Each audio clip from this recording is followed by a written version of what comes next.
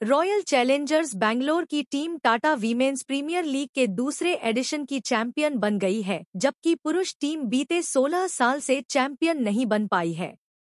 रविवार को खेले गए फाइनल में बैंगलोर ने दिल्ली को आठ विकेट से हराकर ट्रॉफी पर कब्जा किया। क्रिकेट पंडितों ने दिल्ली को मज़बूत बताया था।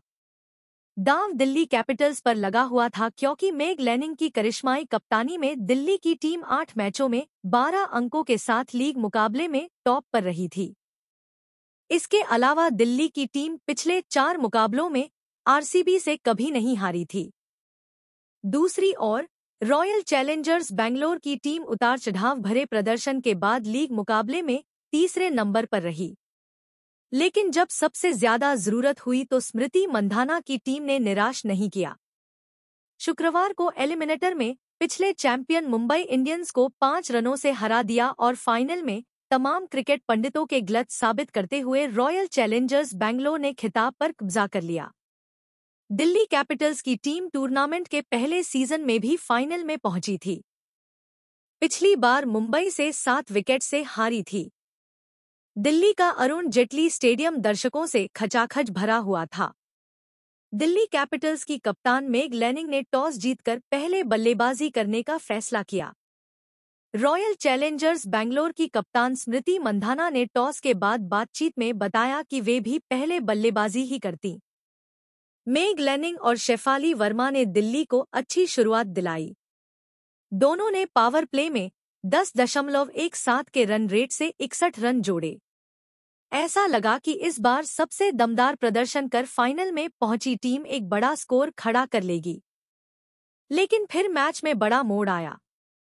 सोफी मोलिनेक्स ने एक ही ओवर में तीन विकेट लेकर दिल्ली की बल्लेबाजी की कमर तोड़ दी और रॉयल चैलेंजर्स बैंगलोर की मैच में ज़बरदस्त वापसी कराई।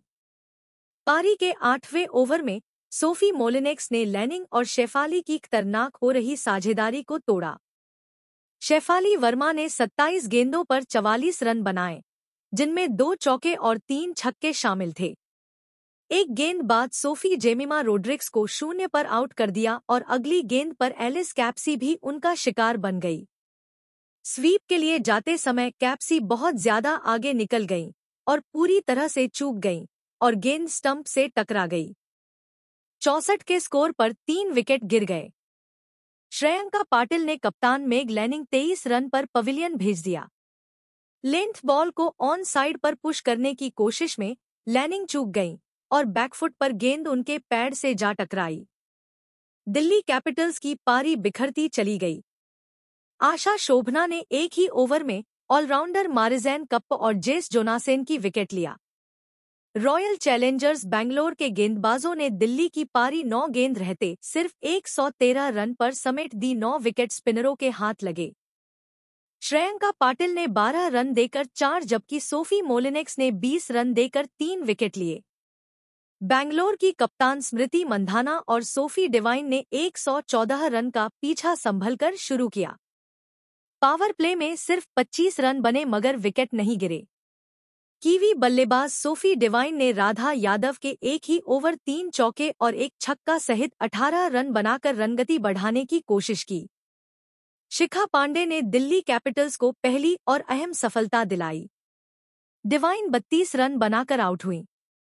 स्कोर अभी उनचास रन तक ही पहुँचा था। मंधाना और ऑलराउंडर एलिस पेरी ने 33 रन जोड़ स्कोर बयासी रन तक पहुँचाया। मिन्नू मानी ने स्मृति मंधाना का बड़ा विकेट हासिल कर मैच में रोमांच लाने की कोशिश की। स्मृति ने आउट होने से पहले इकतीस रन बनाए। टीम को जीत के लिए अब भी तीस गेंद पर बत्तीस रन बनाने थे। अनुभवी एलिस पेरी ने रिचा घोष के साथ मिलकर तीन गेंद शेष रहते जीत दिला दी। ऑलराउंडर एलिस पेरी की आरसीबी की सफलता में सबसे बड़ी भूमिका रही।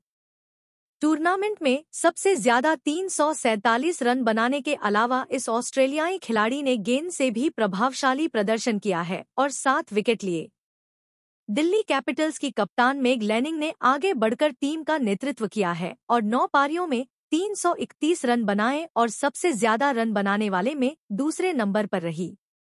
दिल्ली की टीम का प्रदर्शन कितना ज़बरदस्त रहा इसका अंदाज़ा इस बात से लगाया जा सकता है कि इस सीज़न टीम लीग में सिर्फ़ दो मैच हारी थी मुंबई इंडियंस और यूपी वॉरियर्स के खिलाफ।